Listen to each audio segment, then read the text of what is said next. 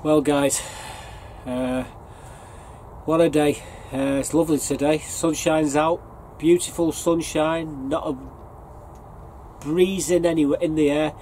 Who would have thought it yesterday it was blowing out 60 70 mile an hour gusts of wind. Um, I thought I'd got over it, I thought I'd get away with it, but uh, I come down this morning and um, both my greenhouses was damaged slightly and um, my arch had blown over and I thought I was lucky because my next door neighbour's lost 90% of his well he lost at least 50% of his panels out of his greenhouse. I'll show you that in a bit. But first I'm going to show you um, the the damage on me, me two greenhouses and I'm going to show you me doing a little bit of a repair the best I can like I say um, show you what I need what needs to be done and we'll do it and I'll show you another little clip of it all done. So yes check the damage out on the two greenhouses guys. So um, like I say we just popped the panel back in. It was a simple fix. It must have been some pressure in this greenhouse because where the wind was coming in was through a there was a tiny gap at the bottom of the door which had actually blown open and uh, the wind had got in and um, the sheer pressure on the inside has popped it at the top here. So we just pushed it back in. In doing so I nearly uh, slashed my hands on this bracket here. I'm going to have to take this off. Uh, look at that bugger there right on bloody hand. Uh, another couple of inches. Might have been the end of me. But uh, yeah this used to be another this used to be another greenhouse what used to uh, attach to this but we've built this out of uh, uh, out of bits and we've done a good job. We found all the bits what we needed to do and you know we've done a, a really good job of this. So anyhow that was a quick fix on this greenhouse. So that one's put to bed for another another year unless we get stronger winds. These all this is broken off here. So I've got to try and put it all back together. And uh, we should be good to go then. Can't believe the, the force of the wind's been that was that strong. It's uh it's blown the back of the the greenhouse the things off here but as everything else is held into place because of these rivets. So we need to rivet them as well. And we never did the top we only did the the bottom on this along yeah the wind's that anyway, bad. It's blew the uh it's blew the panels clean out here. So we're gonna have to put them all back in. A lot of faffing about but uh, I'm gonna have to do it pretty quick because if this wind comes back we're in serious trouble I would imagine. Right anyhow I'm gonna have to put this on pause. This one I won't be recording I don't think. I'll show you when I've done it but yeah the wind was that strong last night. Uh, it took it blew the back of the panel out unfortunately. I've uh, checked it all as well made sure it was okay. Unbelievably anyway let's okay, guys. crack on well we've uh, we fixed we fixed the panel back in. Um, I might have to put a couple of uh, rivets in there as well just to stop it um, doing it again. When I say rivets I'm on about rivets like these here. So I'm going to try and pop a rivet in the top just to stop it blowing out. So I need to sort sort of drill out and uh, we'll get get out on the outside and try and do something there with the uh, the panel I think. First things first. Find the appropriate um, 5 milli drill or 3 sixteenths. Uh, a bit of a rivet. You probably heard a bit of a noise. Let's point it up to where I'm going to be drilling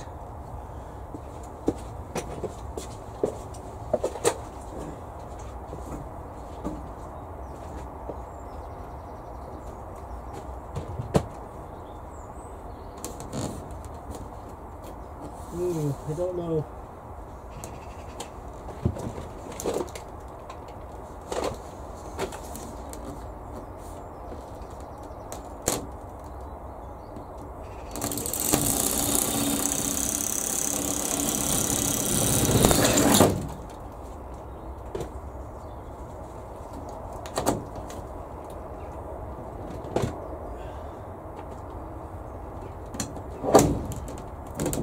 Just put a rivet up here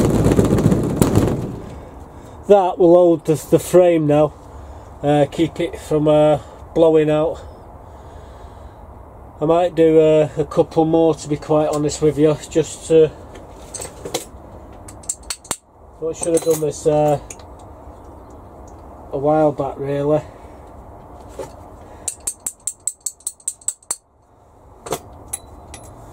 But, uh, I think I'll put another one on the other side where I put the first one. We're going to stick another one, so there's going to be two there. Once bitten, twice shy.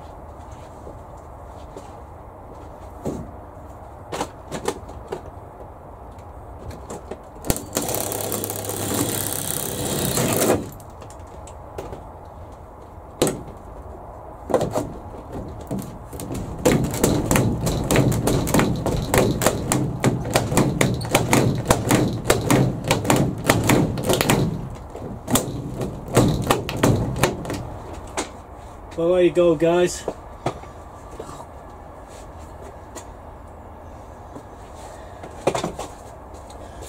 Uh, ain't gonna move now. I should have done this in the first place. To be quite honest with you, it's my own fault. Just being lazy. I did everything except for the two up there, and the winds managed to get behind it and pop the panel. Luckily, none of the other panels in the greenhouses have, have, have popped out, so yeah, that might be a lesson to learn, I would imagine. Yeah, the old panel, the old back of the panel, um, the the the front of the greenhouse had actually come out there. Yeah, it was a quick fix. Uh, however, we put a couple of uh, rivets in the top. It's the only place we haven't got rivets on that greenhouse, and it was the only place where it come apart. Unbelievable. Just shows you how strong that wind really, really, it really was. However, it's all it's all back to all back together now. The the the other um, greenhouse, um, it was just the panel popped out. What it was, this door must have just been open about that much at the bottom, and the air got into it, and it popped that that panel. And uh, I nearly sliced and diced my bloody hand doing that. Um, the other damage that happened on my plot was my arch. Um, it had blown over. Here's me putting the arch back up.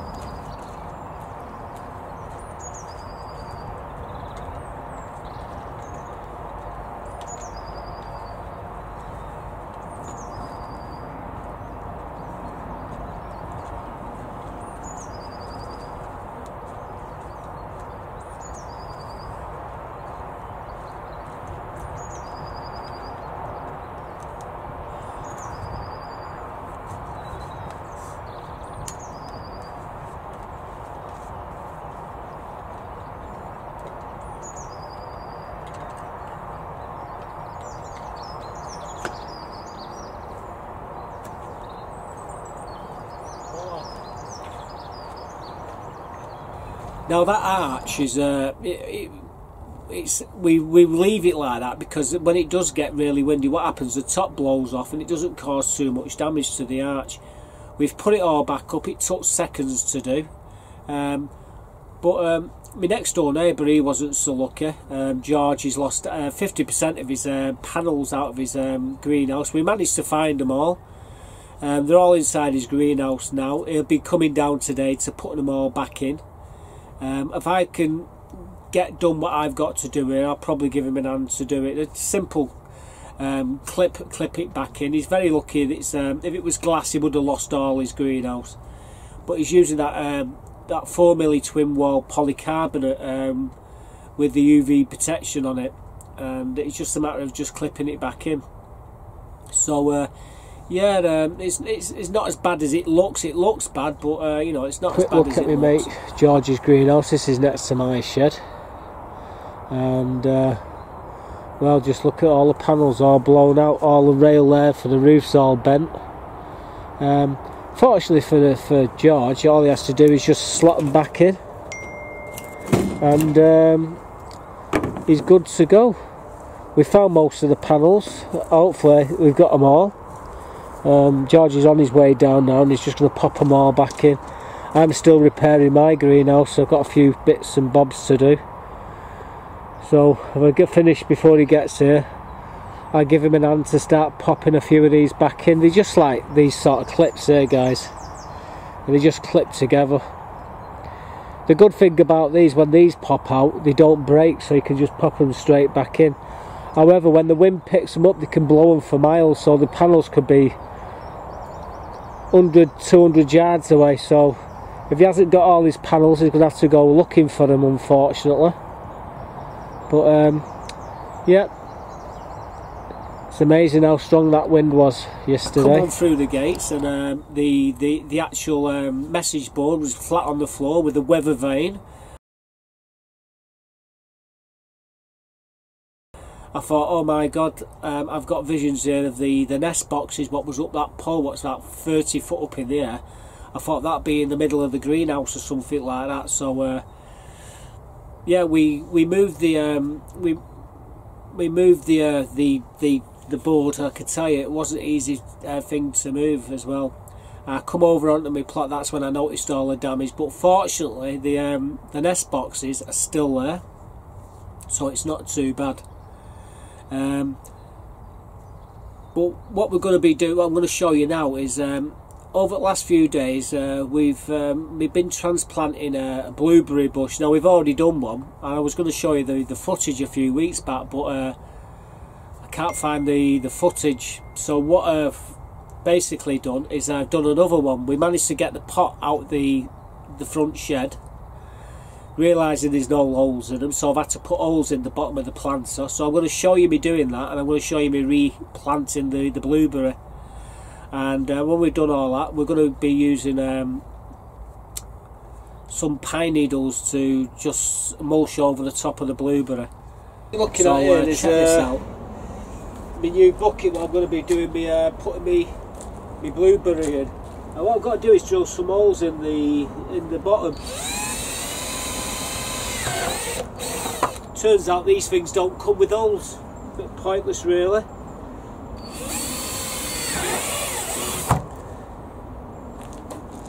Yeah, they bought uh, two of them for a fiver.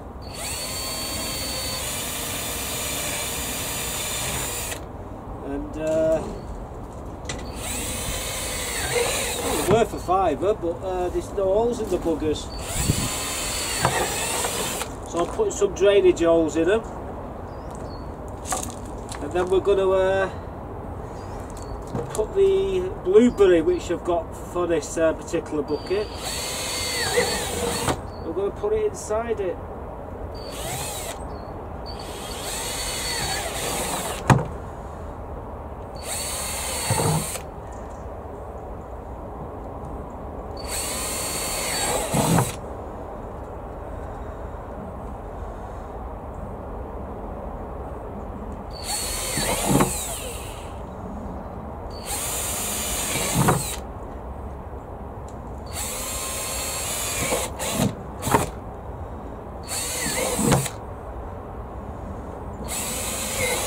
So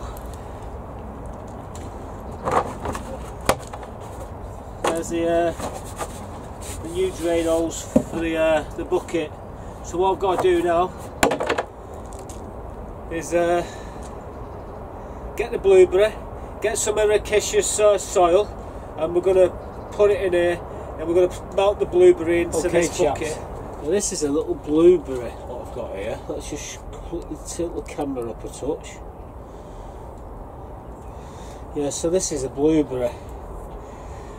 We've got a, a container, well, we've just seen me drilling the holes in it, so, uh, you know, what we're going to be doing is put some of this ericaceous uh, soil into this. Blueberries like that sort of soil. Uh, however, we haven't got a lot of it, so I've been mixing it with a bit of a bit of compost, not as it really matters. What we will be doing though, I can't do it today, but we will be putting a, a layer of um, pine needles around the top of it as well. They really do like acidic soil. So anyhow, I'm going to lift this out here now, out of the pot. And, uh, well, it's a bit of a nip one pearl one at the moment. I'm having a bit of a problem. I'm just going to whatever you do when you're planting these, never plant them below the um, the main trunk of the um, bush. Otherwise, they just kill them. So we've got uh, some soil here, so we just need to tip it in. I think we might need some more.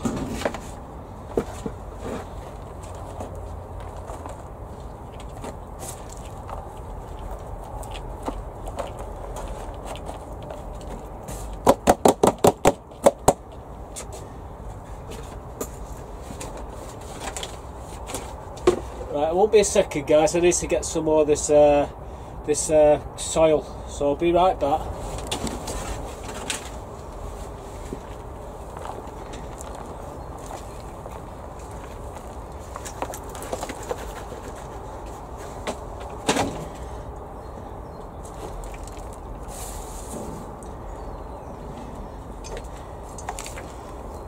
Give it a good firming in. I find they do best really good these um, these bushes in, in planters so you know. Just making sure the the main trunk is uh, is free from soil.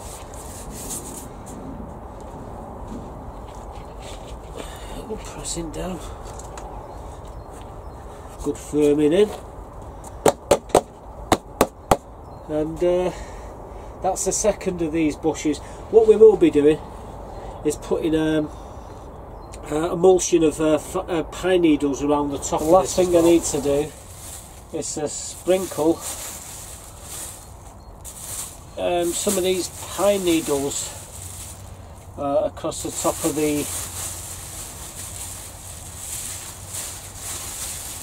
the planter. I said, there's nothing more that blueberries like uh, than a, a few pine needles sticking over the, the top of the bucket.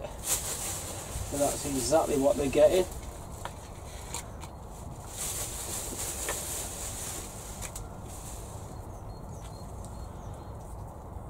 I don't know where them stones have come from, but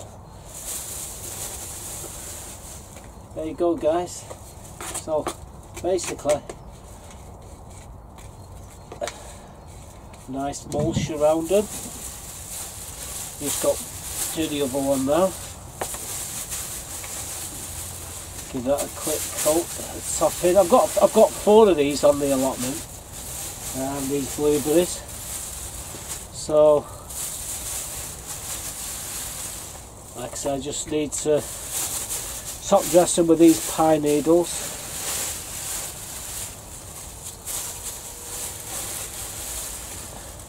Desagenated earth, uh, I think I said that right.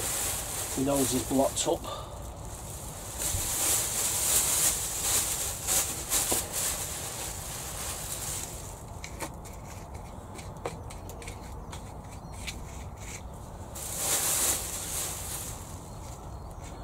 So uh, we've got the two two of them now.